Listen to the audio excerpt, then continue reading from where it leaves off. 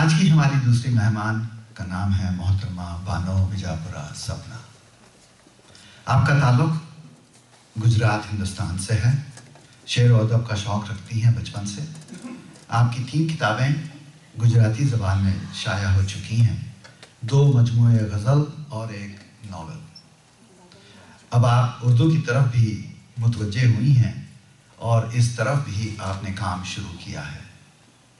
آج ہمارے سامنے اپنا کچھ اردو کا کلام پیش کریں گی تشریف لاتی ہیں محترمہ بانو وجاپورا سپنا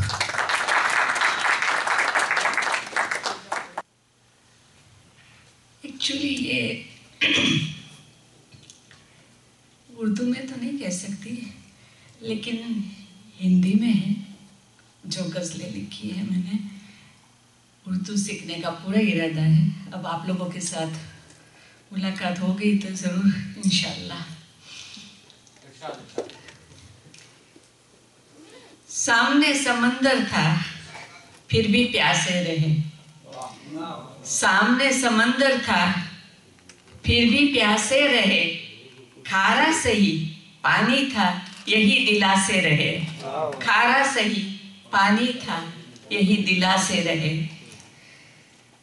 نام و نشا مٹ گئے ان کے جہاں سے۔ نام و نشا مٹ گئے ان کے جہاں سے۔ جو اپنی زندگی میں یارو خدا سے رہے۔ جو اپنی زندگی میں یارو خدا سے رہے۔ ماں جب سے چھوڑ گئی ہے اس جہاں کو۔ ماں جب سے چھوڑ گئی ہے اس جہاں کو۔ دامن اور دل دونوں محروم دعا سے رہے۔ دامن اور دل دونوں محروم دعا سے رہے۔ تم سے بچھڑ کے خاص کچھ نہیں ہوا۔ تم سے بچھڑ کے خاص کچھ نہیں ہوا۔ تم سے بچھڑ کے خاص کچھ نہیں ہوا۔ بس زندگی سے کھفا کھفا سے رہے۔ بس زندگی سے کھفا کھفا سے رہے۔ محل تو بہت بنائے سپنوں کے ہم نے۔ محل تو بہت بنائے سپنوں کے ہم نے۔ خوابوں کے تھے، خوابوں کے ہوا سے رہے۔ سامنے سمندر تھا، پھر بھی پیاسے رہے۔ کھارا سہی پانی تھا، یہی دلا سے رہے۔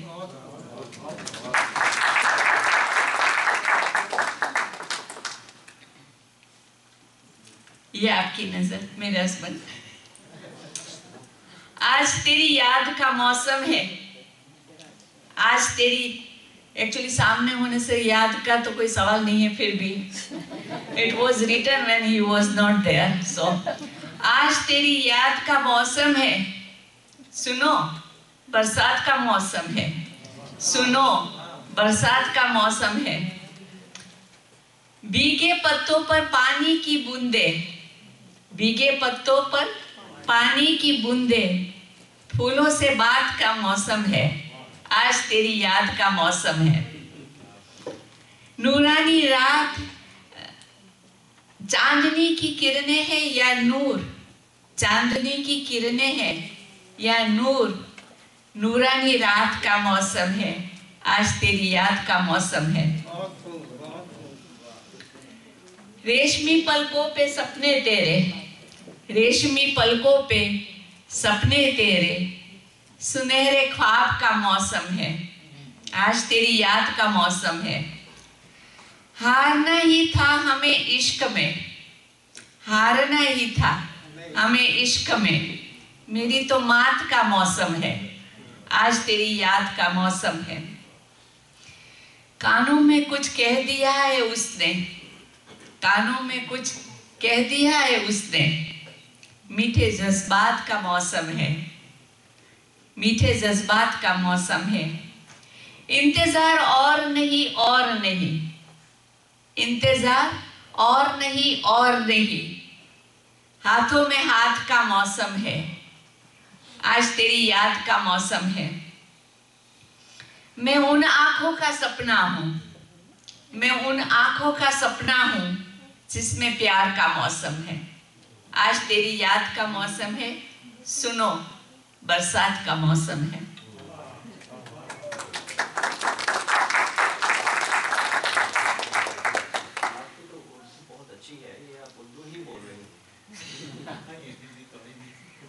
رائٹنگ ہندی میں۔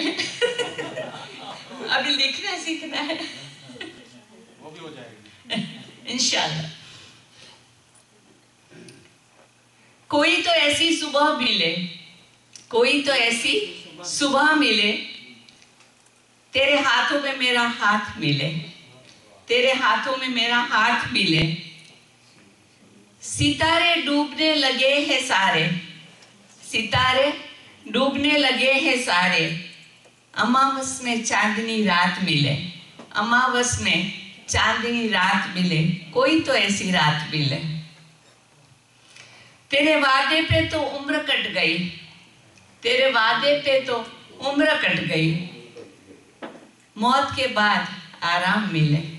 موت کے بعد آرام ملے۔ کوڑی میں بھی بکتی نہیں تیری یاد۔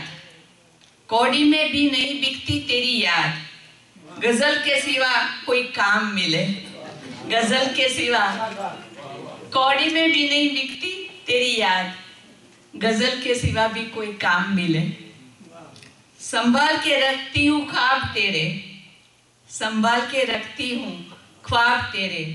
سنا ہے سپنوں کے کوئی دام ملے۔ سنا ہے سپنوں کے کوئی دام ملے۔ اچھا۔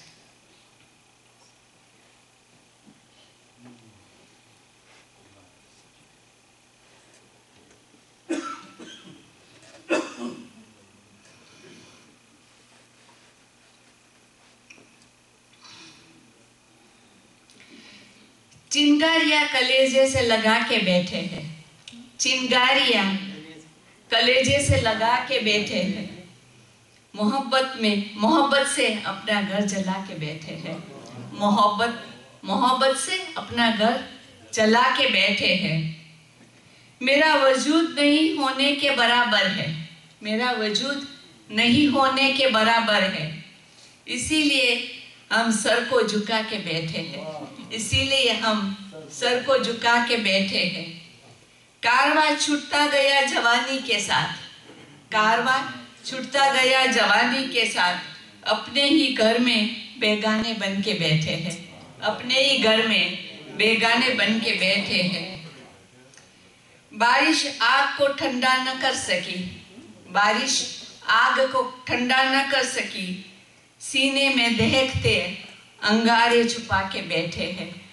سینے میں دہکتے انگارے چھپا کے بیٹھے ہیں۔ سپنوں کی کشتے آنکھوں سپنوں کی کرچے آنکھوں میں کھوجتی ہے۔ سپنوں کی کرچے آنکھوں میں کھوجتی ہے۔ تکیے کو تکیے کو خون سے لال کر کے بیٹھے ہیں۔ چیرگر یا کلیجے سے لگا کے بیٹھے ہیں۔ محبت میں اپنا گھر چلا کے بیٹھے ہیں۔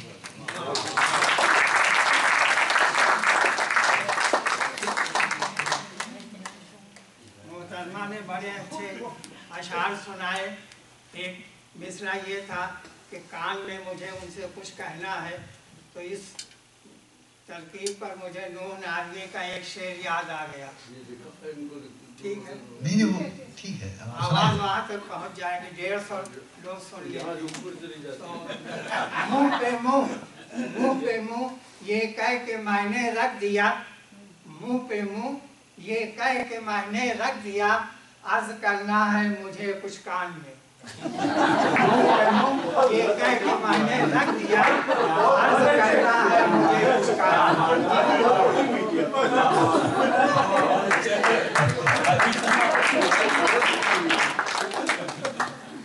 بہت شکریہ بانو مانو پورا صاحبہ۔ اب میں زحمت دوں گا جناب مبین خلیل صاحب کو کہ وہ اپنی پسندیدہ کوئی نثری نگارشات آپ کے سامنے پیش کریں۔ تشریف لاتے ہیں مبین خلیل صاحب۔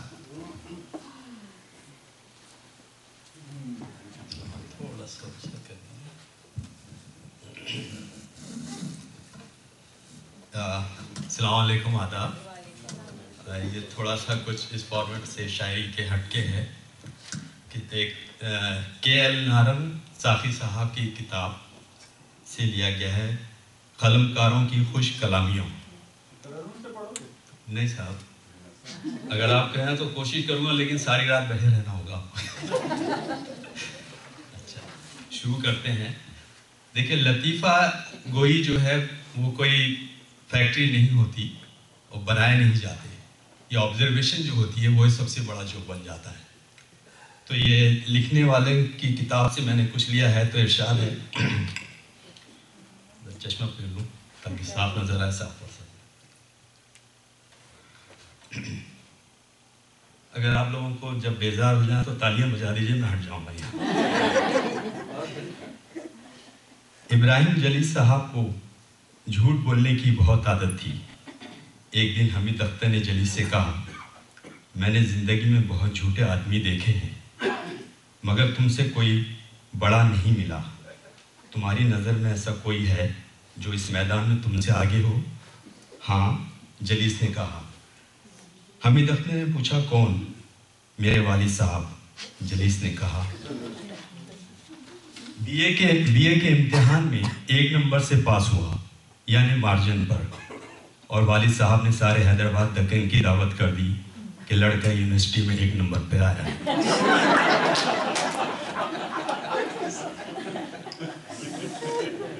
ایک محفل میں مشہور صحافی احمد علی اور ان کی اہلیہ حاجرہ مسرور ابراہیم جلیس اور بہت سے دیگر شعرا و ادیب جمع تھے اچانک ایک صاحب نے ابراہیم جلیس سے سوال کیا، یہ بتائیے کہ صحافت اور ادب میں کیا رشتہ ہے؟ صحافت اور ادب میں۔ اس پر جلیس مسکرائے احمد علی اور ان کی اہلیہ کی طرف اشارہ کرتے ہوئے کہا، جو احمد علی اور حاجرہ مسرور میں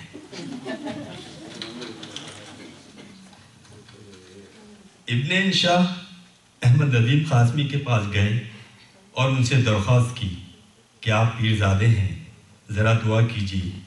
معاذ تن کی فوجیں ادب لطیف کا سالنامہ شائع ہونے تک شنگھائی پر قبضہ نہ کر سکیں قاسمی نے اس کی وجہ پوچھی۔ تو انشاء نے بتایا، اس پرچے میں شنگھائی کے عنوان سے میری نظم چھپ رہی ہے، جس میں شنگھائی کا مقدر بدلنے کے لیے میں نے موز تن کی فوجیں بلوائی ہیں۔ اگر اگر اس نظم کی اشاعت سے پہلے ہی ان فوجیوں نے شنگھائی پر قبضہ کر لیا تو میری نظم بیکار ہو جائے گی۔ احسان دانش سے کسی مشاعرے کے محتمم نے درخواست کی، ہم ایک مشاعرہ کر رہے ہیں۔ اس میں شامل ہو کر ممنون فرمائیے۔ احسان نے پوچھا، معاوضہ کتنا ملے گا؟ محتمیم نے نہایت انکساری سے جواب دیا آپ اس مشاعرے میں معاوضے کے بغیر شمولیت فرما کر شکر گزار فرمائیں۔ احسان اس کی انکساری سے خطر متاثر نہ ہوئے کاروباری انداز میں بولے بندہ نواز، آپ کو ممنوع فرمانے میں مجھے کوئی اعتراض نہ تھا۔ میں بلا معاوضہ آپ کے مشاعرے میں چلا تھا۔ بشرطے میرے شعروں سے میرے بچوں کا پیٹ بھر سکتا۔ آپ خود ہی اور فرمائیے قبلہ کہ گھوڑا اگر گھاس سے محبت کرنے لگے تو کیا آپ کے شکریہ پر زندہ رہ سکے گا؟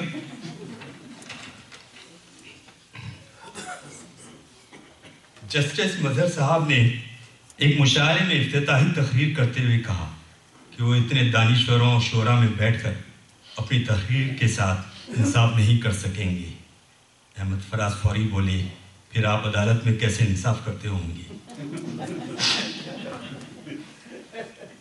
احمد راہی اور حبیب جالب کہیں کھڑے تھے کہ اچانک ایک فقیر نے جالب صاحب کے ہاتھ سامنے ہاتھ بڑھا دیا۔ احمد راہی کچھ دیر ہی منظر دیکھتے رہے۔ پھر فقیر سے مخاطب ہو کر بولے، تمہیں علم ہے؟ تم آج تک فقیر کے فقیر کیوں ہو؟ اس لیے کہ تمہیں پتہ ہی نہیں کس سے لینا ہے اور کسے دینا ہے۔ احمد ندیم قاسمی شروع میں اپنے بالوں پر خضاب نہیں لگاتے تھے۔ بعد میں انہوں نے باقاعدگی سے بالوں کو رنگنا شروع کر دیا۔ پچھلے دنوں ریڈیو اسٹیشن کی ایک تقریب میں کئی معروف لوگ اکٹھا ہوئے۔ سب قاسمی صاحب سے اپنے تعلقات کا ذکر کر رہے تھے۔ احمد رائی نے بڑے فخر سے کہا، ہمارے تو قاسمی صاحب سے تب سے تعلقات ہیں جب ان کے بال سفید ہوا کرتے تھے۔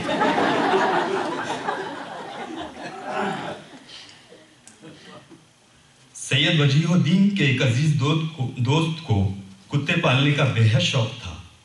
ایک روز وہ وہ لوگ کتوں کے ہمراہ علامہ اقبال سے ملنے چلے آئے۔ یہ لوگ تو اتر کر اندر جا بیٹھے اور کتے موٹر ہی میں رہے۔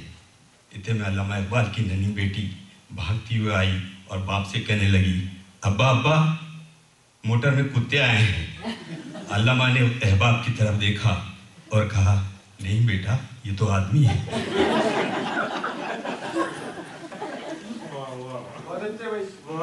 شکریہ۔ خواجہ حسن نظامی نے ایک مرتبہ اپنے اخبار نادی میں لکھا کہ میں ڈاکٹر اقبال کو عظیم شاعر نہیں سمجھتا۔ انہی دنوں ڈاکٹر اقبال کے گھٹنوں میں درد ہو گیا۔ خواجہ صاحب نے انہیں اپنا روغن فاسفورس بھیجا، جس سے انہیں افاقہ ہو گیا۔ انہی دنوں انہوں نے خواجہ صاحب کو خط لکھا کہ مجھے آپ کے روغن سے افاقہ ہوا ہے۔ خواجہ حسن نظامی نے وہ خط اپنے اخبار منادی میں شائع کر دیا۔ کہ اس تیل کے متعلق شاعر اعظم اقبال کی کیا رائے ہے؟ ڈاکٹر اقبال نے منادی اخبار پڑھ کر مسکراتے ہوئے کہا، شکر ہے خواجہ صاحب کے روغن فاس فورس سے مجھے شاعر اعظم تو بنا دیا. خلافت تحریک کے زمانے میں مولانا محمد علی جوہر اقبال کے پاس آئے اور لانت ملامت لانت ملامت کرتے ہوئے کہا، ظالم، تم نے لوگوں کو گرما کر ان کی زندگی میں ہیجان برپا کر دیا ہے۔ خود کسی کام میں حصہ نہیں لیتے۔ اس پر اقبال نے جواب دیا، تم بالکل بے سمجھ ہو یار۔ تمہیں معلوم ہونا چاہیے، میں تو قوم کا قوال ہوں۔ اگر قوال خود وجد میں آ کر جمنے لگے، تو قوال ہی ختم ہو جائے۔ انور جلال پوری کی نظامت کی بات چل رہی تھی۔ بشیر بدر نے کہا، انور جلال پوری تو نہایت ہی غیر معیاری ناظم ہے۔ وہ تو صرف میلے ٹھیلوں کے مشاعرے ہی کر سکتے ہیں۔ یہ بات جب انور جمال پوری تک پہنچی تو وہ ناراض ہو کر بولے، میں ڈاکٹر بشیر بدر کی وہ حالت کروں گا کہ وہ نظامت تو کیا؟ شاعری بھی بھول جائیں گے۔ جب بشیر بدر کو حالات کی سنگینی کا احساس ہوا تو انہوں نے صحت کے لیے خطرہ محسوس کرتے ہوئے فوراً انور جلال پوری کو خط لکھا۔ میں تو آپ کی عظمت کا خائل ہوں۔ میں نے تو یہ کہا تھا کہ انور جمال پوری اس قدر اعلیٰ ناظم ہیں کہ میلے ٹھیلوں کے مشاعرے کو بھی آسانی سے سنبھال لیتے ہیں۔ سالک صاحب جس مکان میں مقیم تھے، وہ مکان دوسری منزل پر تھا اور پانی وہاں تک بہت کم پہنچتا تھا۔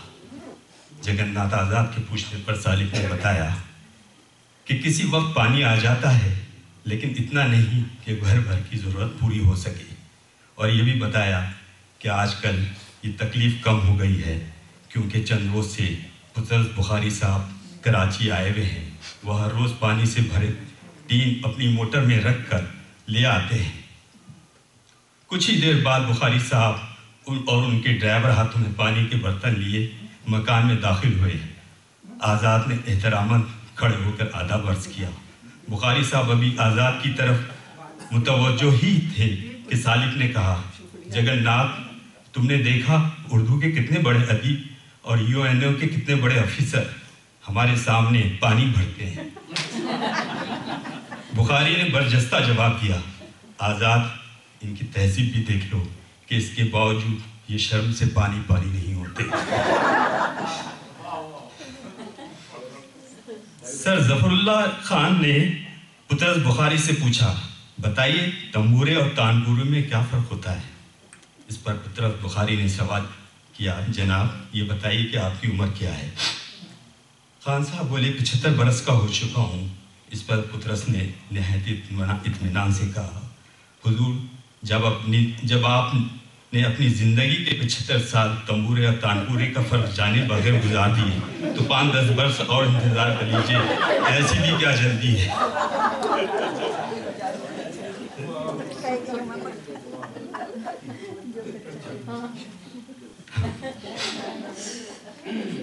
جگن ناتھ آزاد اٹلانٹا گئے تو چائے پیش کرتے ہوئے میزبان نے پوچھا، آزاد صاحب، چائے میں کتنی چینی لیتے ہیں؟ اپنے گھر میں تو ایک ہی چمچہ لیتا ہوں، لیکن جب باہر جاتا ہوں تو تین سے چار چمچے چائے، کم چمچے چینی لیتا ہوں۔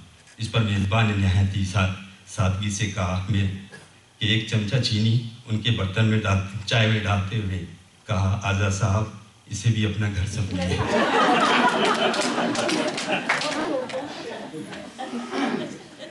جوش ملیا آبادی مولانا ابوالکلام آزاد سے ملاقات کے لیے ان کی کوٹھی پر پہنچے۔ وہاں ملاقاتیوں کا ایک جمع غفیر پہلے سے موجود تھا۔ کافی دیر تک انتظار کے بعد بھی جب ملاقات کی، جوش صاحب کی باری نہ آئی تو انہوں نے ابتا کر ایک چٹ پر یہ شعر لکھ کر بھیجا۔ نامناسب ہے خون کا کھولانا۔ نامناسب ہے۔ خون کا کھولانا۔ پھر کسی اور وقت مولانا۔ مولانا شعر پڑھ کر مسکرائے اور فوراً جوش صاحب کو اندر بلائے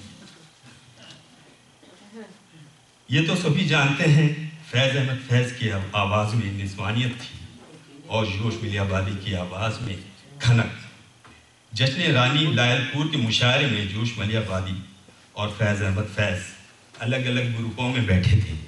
خطیب شفائی مشاعرے میں شرکت کے لیے آئے تو فیض صاحب کی طرف جانے لگے۔ جو صاحب نے آواز دی خطیل وہاں کہاں جا رہے ہو؟ سیدھے مردانے میں چلے آؤ۔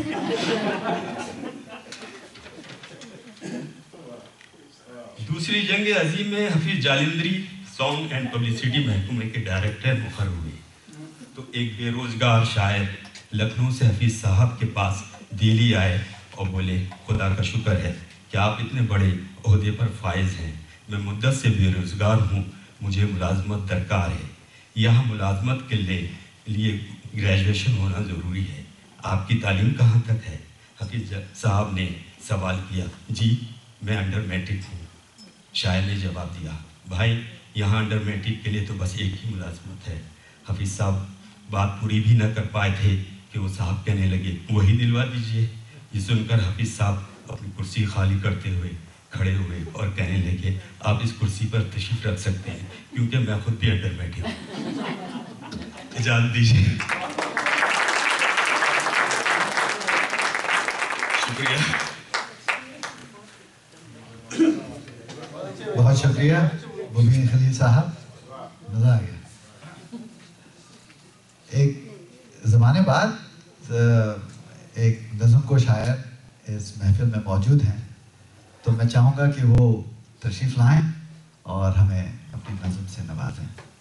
میں اشارہ کر رہا ہوں جناب سلمان صدیقی صاحب کی طرف۔ تشریف لائیں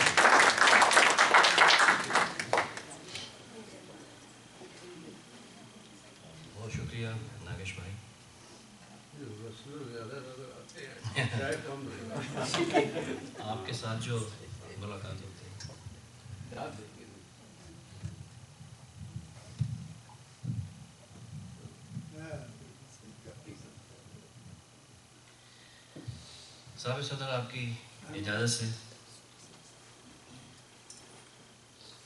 ایک نظم لکھ رہا تھا۔ ایک نظم لکھ رہا تھا دلداریوں سے پہلے۔ جو پوری ہو گئی تھی دشواریوں سے پہلے۔ ایک نظم لکھ رہا تھا دلداریوں سے پہلے جو پوری ہو گئی تھی، دشواریوں سے پہلے ایک نظم لکھ رہا ہوں، لاچارگی کی صورت جو پوری ہو رہی ہے، آوارگی کی صورت۔ ایک نظم لکھ رہا ہوں، لاچارگی صورت جو پوری ہو رہی ہے۔ آوارگی کی صورت آزادیوں سے مل کے بربادیوں کی ہو کر کم مائگی کے تن پہ غم خاریوں کی صورت۔ ایک نظم لکھ رہا ہوں، لاچارگی کی صورت جو پوری ہو رہی ہے۔ آوارگی کی صورت۔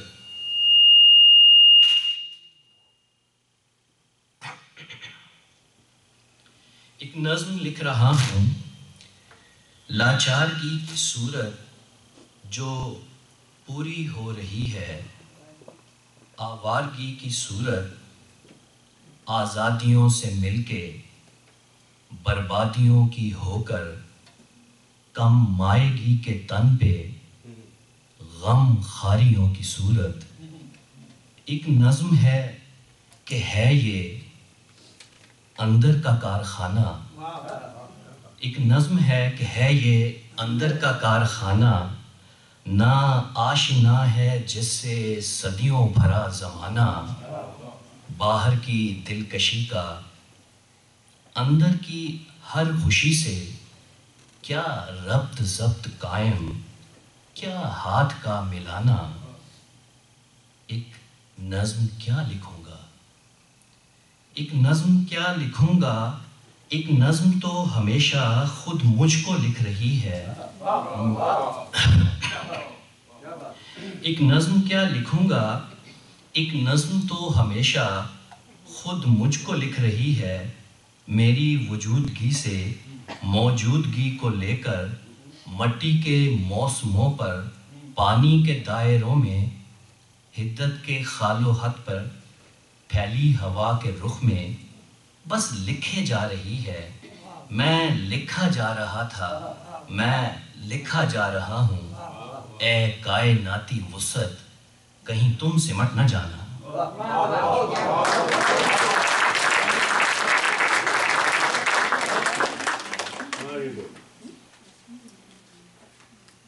فلک صاحب نے ویری گڈ کہہ دیا۔